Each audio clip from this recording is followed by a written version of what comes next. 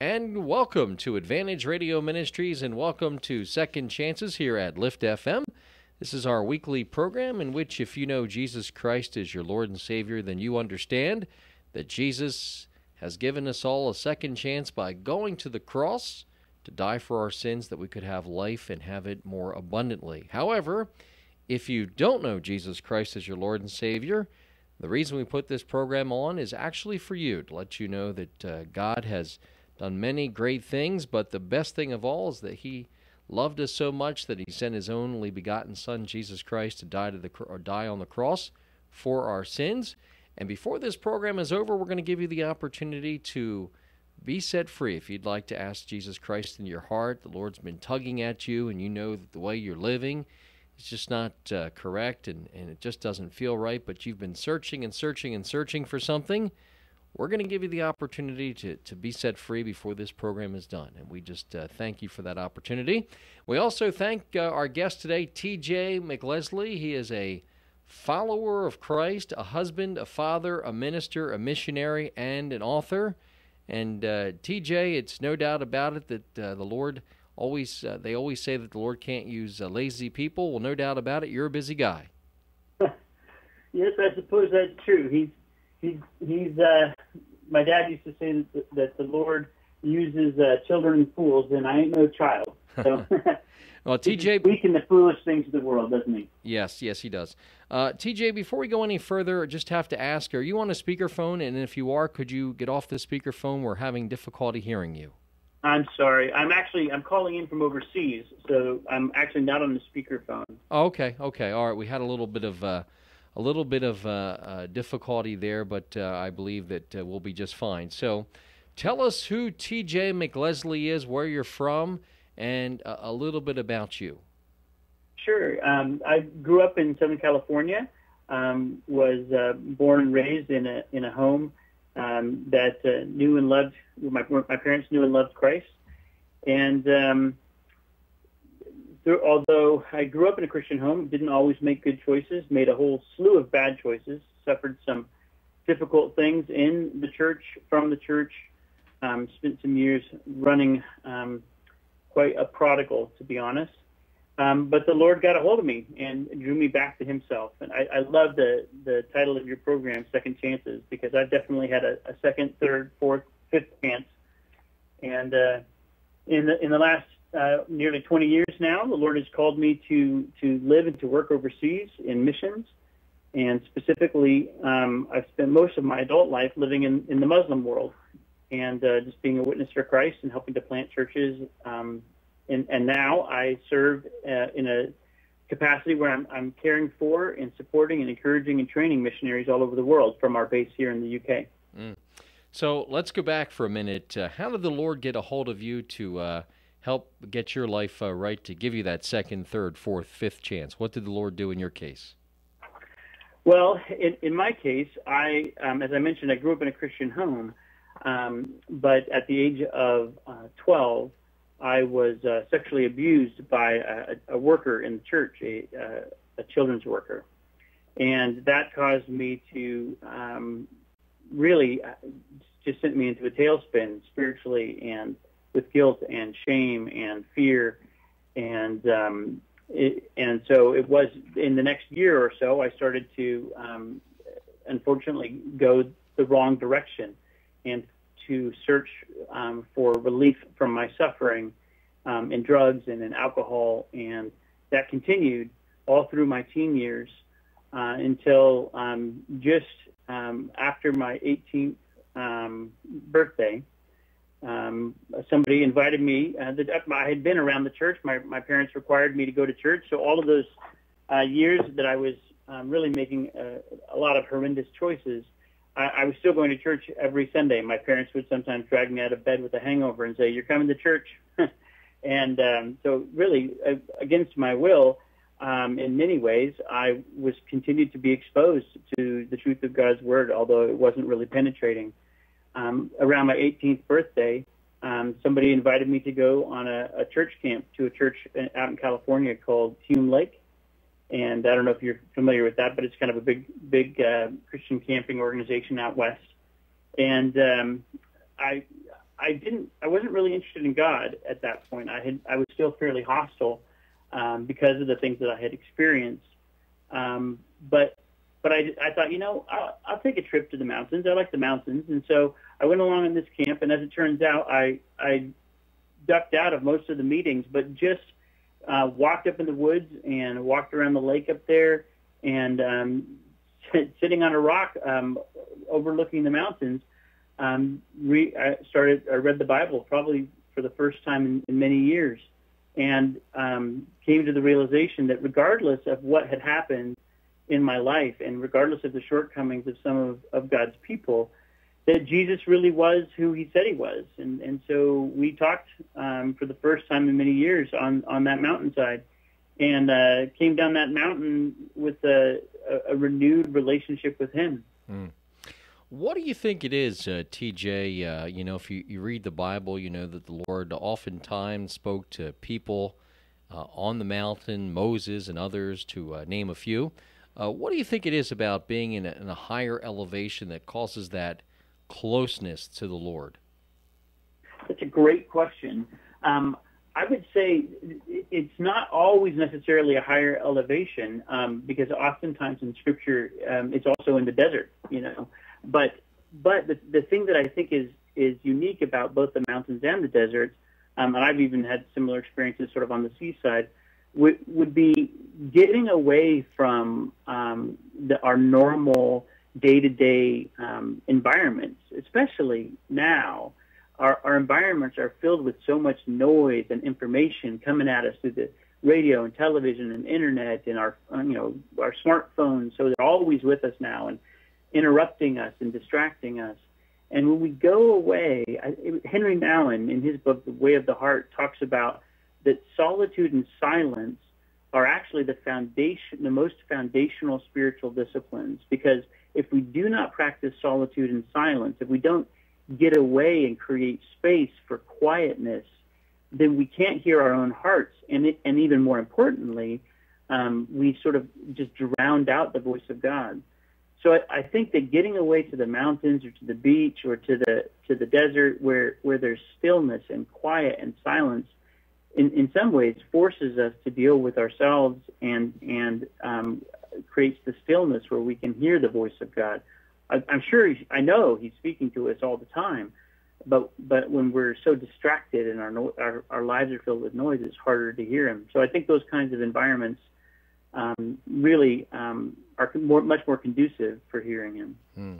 Be still and, and know that uh, I am God. Um, Absolutely. Designed for Relationships Learning to Love God with All We Are is the book by TJ MacLeslie. And TJ, before we continue, continue our interview, uh, is there a website that one could visit to learn more about uh, you, your book, and things of that nature? Yeah, um, the, the the book itself has a website. It's www.dfrbook.com, and so that you can you can get some excerpts from the book if you want to have a little taste. Um, so there's some sections of the book that are on the on the site, um, and some endorsements from various people, and uh, even I think an interview with the book designer. Um, and then if, if people want to just sort of catch up with me on on Twitter or um, Instagram or Facebook, things like that, there's a, a site called, um, called about.me forward slash TJ underscore MacLeslie, and that's where all of my sort of social media stuff I'm connected through there, so people can um, keep up with me personally through that as well. Okay. I'd love to interact with my with people who are reading the book. It's I find I find writing a book an interesting. I'm, I'm a preacher more by nature than a than an author, and so I find writing a book is an interesting thing because I, I, I pour a sermon, if you will, onto the pages of the book, but I never get to interact with, or rarely get to interact with people who are reading it um, or who are responding to it. So I love to interact with people if possible. Mm. That uh, website, once again, is dfrbook.com, and uh, the other social media sites will bring that up uh, again throughout the program. Uh, TJ, I want to go back to something you mentioned about uh, the missions field. You currently mentioned you're in the uh, United Kingdom, and you also mentioned that um, you spend a lot of time uh, ministering to Muslims. And, mm-hmm. Uh, and here in the United States, we often hear discussed that uh, in in some cases we are not very well liked by Muslims. Uh, how, how does that work in, in what you do, trying to, to minister to them, knowing that you are a you know a person from the United States uh, talking to the Muslims? How do how do you overcome that uh, uh difficult situation? Yeah, you know, um, when we were living in the Middle East, um, we we were there um, during the Iraq War, and um, the when, when the invasion happened, and and people would sometimes um, taxi drivers in particular would say, "Hey, you know, what's going on? Why do Americans hate Muslims?" and and I would say, Americans don't hate Muslims. You know, I, I'm I'm an American. I don't hate you. You know, do you hate me? And he said, no. And I said, okay, so let's just people are people. You know, and he said, well why is George Bush doing this or why is the government doing that? And I said, well, you know, next time I have lunch with them, I'll, I'll, I'll bring up your point, you know. And they would always stop and look at me and they're like, you don't have lunch with the president. And I said, no, no, I don't, you know. And uh, I said, well, do you have lunch with your prime minister? And they said, well, no. And I said, so really, if we strip away the, the labels of, of ethnicity and even the religious labels, people are people. Um, and, and I found that when we could break down the sort of um, barriers that sort of cause us to not see people as people, but to see people as representatives of a group, as stereotypes, then it was amazing how, how easy it is to, to build relationships with people. We lived in a country that was 99.9% Muslim. All of my neighbors knew that we were Christians. Um, for the first six months or so, they didn't want to have much relationship with us. They were suspicious that we were there um, to convert them. Um, and they were um, desperately trying to convert us to, to Islam. Um, but over time, as we simply loved them and demonstrated our love for our kids, demonstrated our love for them and for their kids, um, they welcomed us into the community. And uh, we became a, a, a well liked and well established part of the community. And, and then we had opportunities. They would ask us once they no longer felt threatened by us. If we, so they would they would ask us. So, you know, what do you believe then? And then I had opportunities to, to share with them in, in the context of of a trusting friendship relationship to share with them. You know, this is this is what I believe, and they say, "Oh no, no, that that can't possibly be true." And I said, "Well, you, you know, why don't why don't you read it?" You know, and I had the opportunities even to give Bibles um, to people, which is not something that you would be able to do just standing out on the street corner, um, but but was something that you could do in the context of relationship, and they would receive them and and um, and and read them. Not everyone would read them, but but one of the beautiful things about the Word of God is that it never returns void, and so the the Word of God is now peppered throughout that neighborhood, um, sort of ticking away on the shelf there that somebody can pull it down and, and read it in their own heart language and come to know God through His Word. Mm. Um, says here that you've been involved in Christian ministry since uh, your first missions experience in 1990. Uh, mm-hmm. Tell tell us a little bit about that uh, missions experience, if you will, TJ. Sure. Yeah. Uh, back in, in 1990, I was just finishing up university, and um, I really didn't have a particular heart um, for missions or anything like that. Um, I was finishing university and I didn't have any particular plans. Um, specifically, I figured I might go to grad school or something. And um, a friend of mine was going on a short-term trip overseas for a year, a one-year commitment. And he said, "Well, why don't you come along?" And I said, "No, I'm not really interested." and he said, "Well, why don't you why don't you pray about it?" And I said, "Nah, I don't really want to pray about it." and uh, and it was I'd only been walking with the Lord um, a couple of years at that point. I had come back to the Lord, and um, he he said, "Well, how about this? Why don't you just apply for the program, and and if God wants you to go, you'll you know you can get accepted." And so I applied for the program, and much to my surprise, I got accepted. Um, and then we, we prayerfully asked the Lord. Um, everybody who was going on the program had to raise their own financial support or see the Lord raise it. And so I, I, I prayed and I, I shared with the, the church that I was had grown up in. I said, you know, I have this opportunity. They said, do you feel called to missions? I said, not really, but I have this opportunity, and I, I don't know if this is something God wants me to do. If He does, then then He'll need to raise the support three weeks later, um, thirty thousand dollars had been raised, which was a huge amount of money, um, even in those days. And um, I then I was quickly running out of excuses. So really, before I knew what was happening, I found myself on a plane headed for Central Asia, uh, for the former Soviet Union, and um, found myself really on the mission field, almost from a human perspective, almost by accident, but very providentially. Um, and I think under God's providence, He was He was guiding and directing my steps there. Um, and once I got there, I found I I really enjoyed it. I enjoyed learning language. I enjoyed getting into the culture.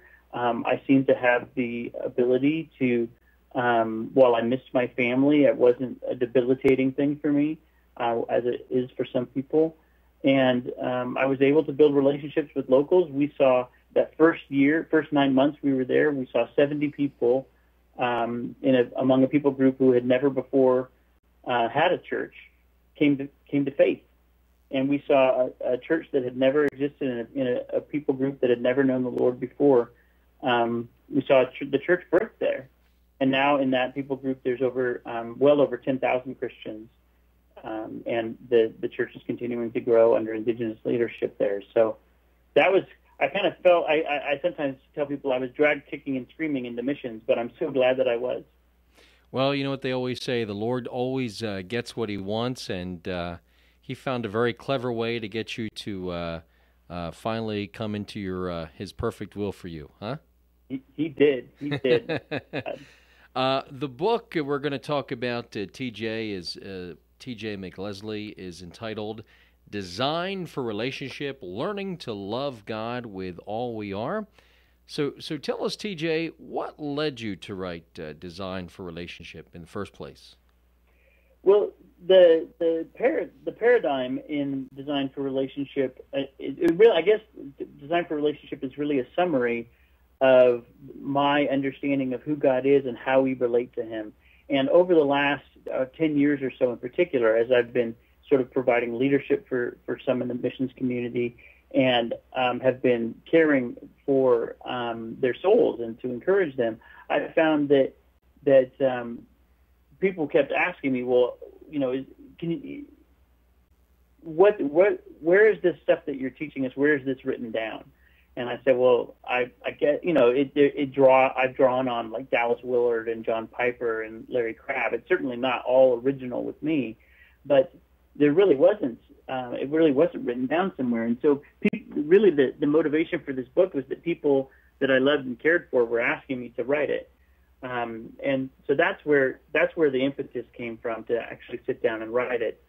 Um, I sat down to write this book um, five years ago, and um, actually a different book came out as I sat down at the computer, which was really the story of how God got a hold of me in, in much greater detail, which is called my first. My first book was Pursuit of a Thirsty Fool, but what I had intended to write was actually this book.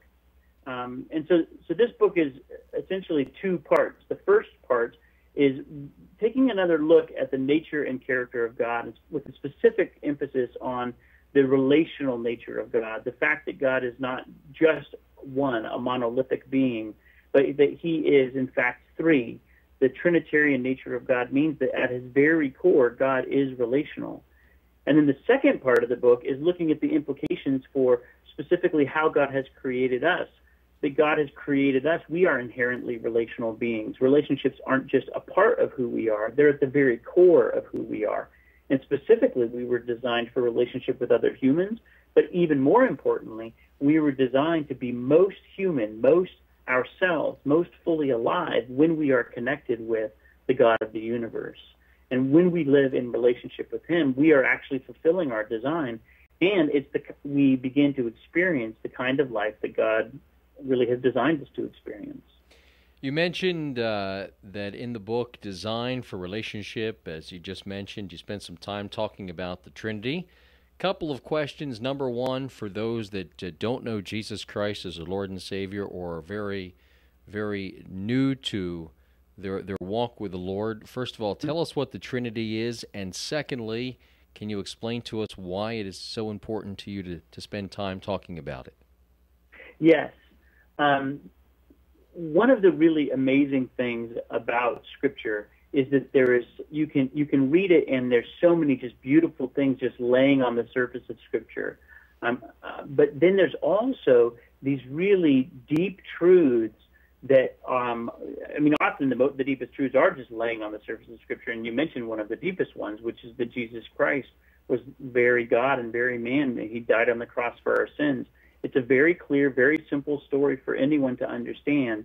Um, children, I you know, I first heard the story when I was maybe three or four or five years old. Um, even a child can understand it, and yet the implications of these truths are so deep that we can spend our whole lives investigating them and not fully understand them. Uh, and so when we come to talk about the Trinity, we're talking about the fact that God has chosen to reveal himself really from the very first chapter of Scripture all the way through the end of Scripture as a we, as an us, as a community, as much as as an individual. And so right there in the in the book of Genesis, which is the very first book in the Bible, for, for those of your listeners that might not, not know that. Um, God talks about let us make man in our image. He uses plural to describe himself. Now he doesn't. That's not the use of that plural is not fully explained and explored until thousands of years later. There's this way that God is beginning to reveal Himself and, and revealing more and more about who He is and what His nature is and what His values are and who what His character is like, all through the Old Testament culminating in the very clear and explicit teachings of the New Testament that explain a lot of the mystery that that was lying lying lay sort of unexplored or unexplained from the Old Testament.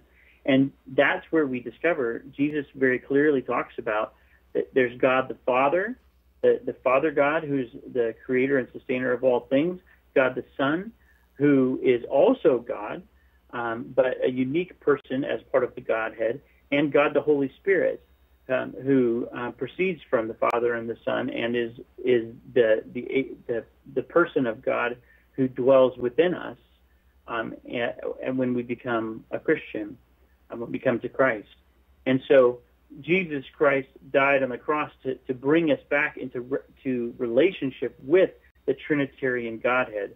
So there's this great deep mystery that God is both one. There is only one God, and yet he exists in three distinct persons, the Father, the Son, and the Holy Spirit. And obviously it's a it is a profound mystery, and yet the implications of that are free and and easy for, for us to understand. And so really in, in my book Design for Relationship, I don't it's I mean really huge books, thousands of pages long have been written about the doctrine of the Trinity. That's not the purpose of my book. The purpose of my book is to say understanding a very brief review of the fact that this is in fact very clearly and explicitly taught in scripture but then asking the question how do we go about what are the implications of that for our lives so not only what is the trinity but really why is the trinity and why is that important and it's important specifically because it demonstrates that god has been dancing this dance within himself this relational beautiful um, every human, every beautiful and right aspect of a human relationship is a, is a pale um, reflection of the beautiful, intricate, um, intimate relationship that has always existed between the Father, the Son, and the Holy Spirit. And so our our um, capacity for relationship is actually a reflection of the nature and character of God in us. God said that He made us in His image, and one of the key aspects of that is that he made us relational. Mm. And so the fact that he is relational um, is grounded very deeply in uh, the core truth of, of the Trinity. We are visiting with T.J. MacLeslie. He is the author of Design for Relationship. And, and T.J., what message would you say your book has for those who are trapped in a self destructive behavior? Well, I mean, as one who has come out of um, and come through um, alcohol, drugs, and, and, and, sexual addiction myself. Um, uh, that this is not a book that is written sort of from an ivory tower, like, hey, you know, you know, freedom is there, and you should really lay hold of it.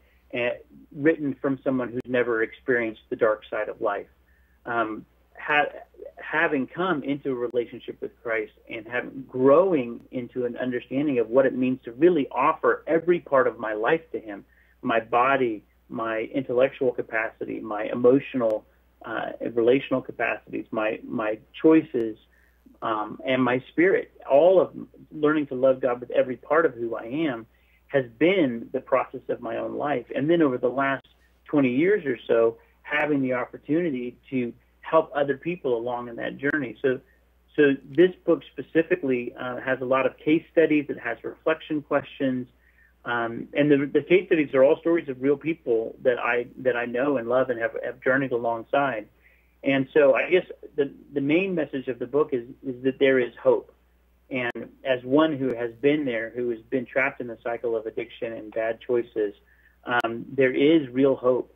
Not just that you can survive, but that you can be healed and that you can thrive, and that that and then there's real practical tools um, available um, for people who who are are, are willing and, and and eager to um, to walk out that journey of hope. So I guess the first the first part would just be to say there is hope, and, as a person who has gone through recovery himself, I can say yes, there is hope for you. And secondly, to, to to put something in your hands that can give you at least some ideas of some steps that you can take forward because oftentimes we might feel like okay so you tell me that there's hope but now what do i do and that's actually where this book why this is my second book is the first book is sort of just really about restoring hope and the second book is about so how do you live that life of hope how do you grow in relationship with god and so um, I, that's that's what people i think will find and are finding um, in the pages of this book. Well, there is hope, and there's no need to be trapped, which uh, really leads us to the most important part of the program, and that's the second chance part. As, as all of us know that uh, love Jesus Christ as Lord and Savior, God has given us that second, third, fourth, fifth, tenth, twentieth chance.